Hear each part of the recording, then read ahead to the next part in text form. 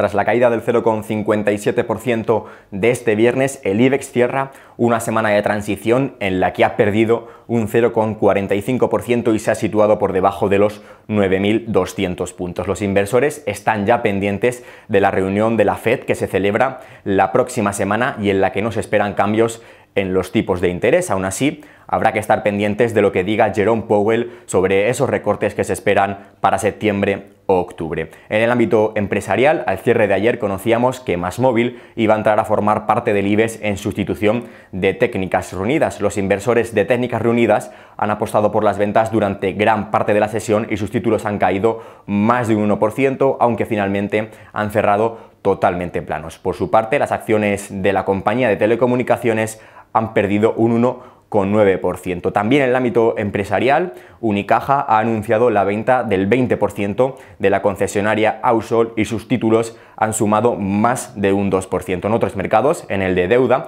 el interés del bono español ha marcado un nuevo mínimo histórico al situarse por debajo del medio punto porcentual. Y por último, en el mercado de materias primas, el barril de crudo Brent cotiza por encima del 1%, ya que siguen las tensiones entre Estados Unidos e Irán tras el incendio del petrolero que se produjo ayer en el mar de Omán.